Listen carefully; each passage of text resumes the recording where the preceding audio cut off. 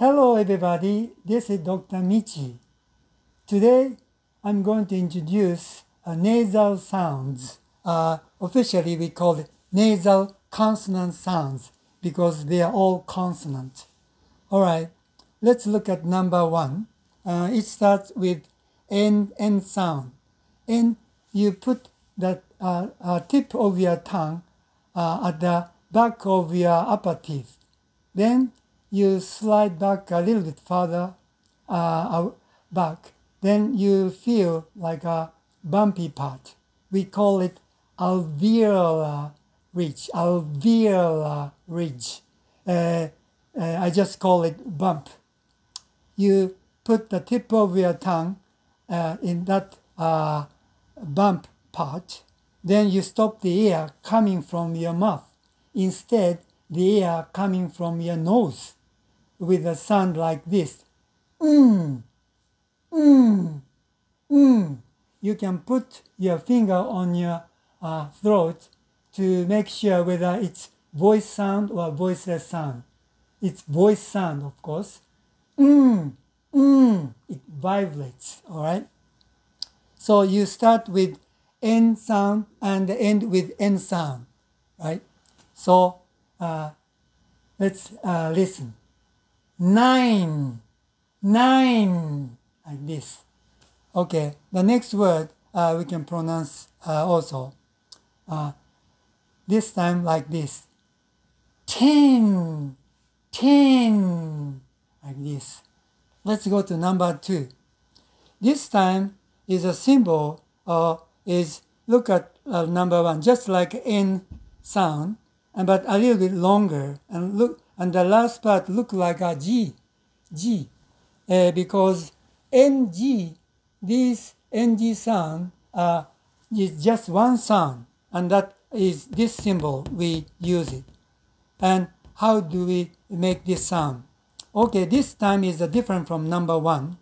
Okay, first of all, you make a G sound uh, to practice to make this one. All right, G, G, G. This is a plosive sound. We explode, explode the sound if it comes at the beginning, oftentimes. But this time we don't explode. We don't pronounce G sound at all. But we pronounce G sound through your nose. How do we do it? I'll show you uh, the way. First of all, the tip uh, this time, the uh, a tip of your tongue is at the back of your lower teeth, like this, like this.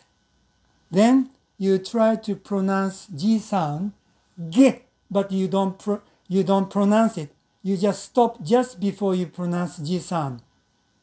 Then, in this way, actually what you are doing, you you're stopping the air using your backside of your tongue uh, uh, coming from uh, your mouth. Instead, the air coming from your nose with the sound like this. Mm, mm, mm. If you put your finger on your throat, again it vibrates because it's voiced sound. Mm, as in sing, sing, sing. Okay? Sometimes you may hear slightly, but basically uh, you don't hear the G sound clearly. You pronounce G sound through your nose. Sing, mm, mm, like this. So number one, mm, mm, your mouth, your uh, lip position, please watch. Mm, mm. Number two, mm, mm. Okay? So or this word like sing, sing, like this. It's very subtle sound, but very different in the English language when you hear. Be careful, right? Okay, number three. This is uh, very easy. You just close your lip. Uh, you close your mouth like this. Then you make the sound again through your nose. The air doesn't come from your mouth because you're closing your lip. All right, like this. Mmm, mmm, mmm. Again, uh, it vibrates. It's a voice sound. but you're closing your mouth, so the sound comes from your nose, uh, as in my, my, my, like this. So you try to uh, make the sound mm, then my, like this.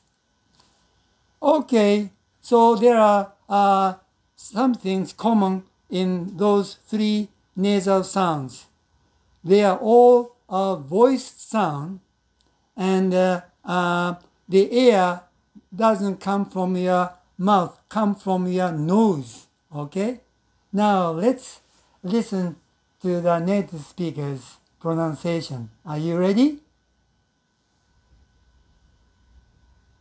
nine, nine, ten, ten, sing, sing, my, my.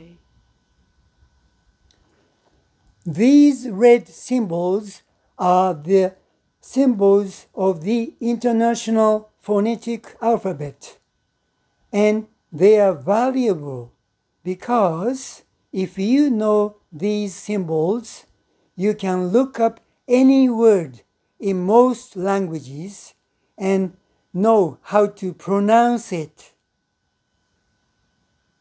Okay, how was it? You can practice these nasal sounds using a hand mirror and you can compare your mouth and mine or other native speakers. Okie dokie, that's all for today. Goodbye, everybody.